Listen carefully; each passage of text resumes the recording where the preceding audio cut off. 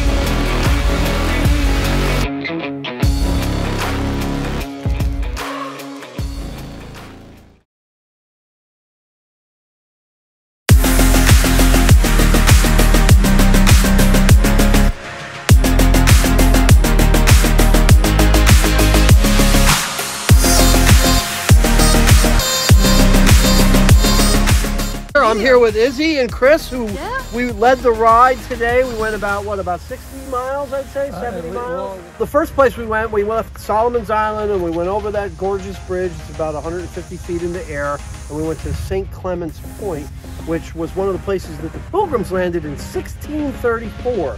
And so there is an island out there with a uh, lighthouse that um, it's been replicated. They rebuilt it in the 80s, but there was a bell, and the bell uh, is a real nice, big, you know, like Liberty Bell style. Back in the day, when there was fog, they had to ring. Somebody stood out there and ring the bell every 30 seconds. Ding, ding. So that was pretty incredible. We got back on the bikes to Piney Point Maritime Museum, Right. and that was an interesting place. There, there's a refinery there, but it was an also an old lighthouse that's still uh, in existence, the original, with a bell also that they used to ring.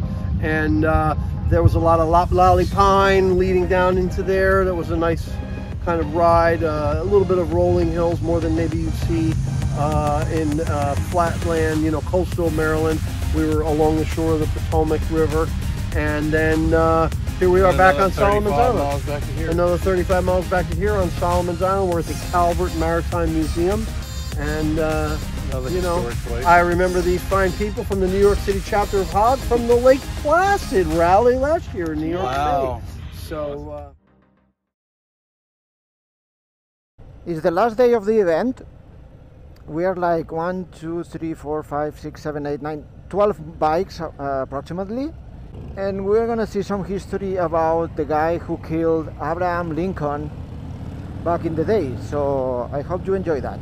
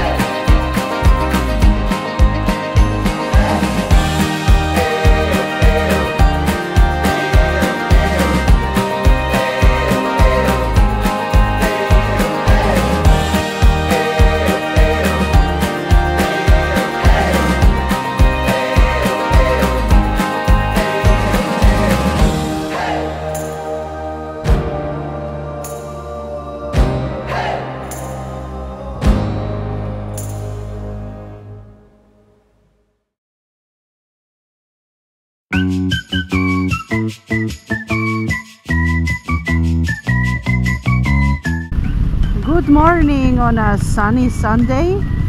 Um, well, this is over. We are headed home. We had a great time. Uh, Chesapeake Rally, HOG Rally. Um, we talked to some folks from the organization and they said that they had over 700 motorcycles uh, in this gathering. So it was a great turnout and it was simply awesome. We've been able to record some of the outings and we've, you know, we've seen, you've seen already some of the areas that we have been able to explore. Yesterday was an awesome ride, a long ride, but we were able to discover part of uh, America's history with the Booths uh, route. So it was a great ending to a great uh, week. Thank you, I guess, to the organization and to everybody that made this possible. We had a great time. And we leave as we arrived, crossing this very beautiful bridge. So, see you next week. Saludos, siempre nubes. Bye.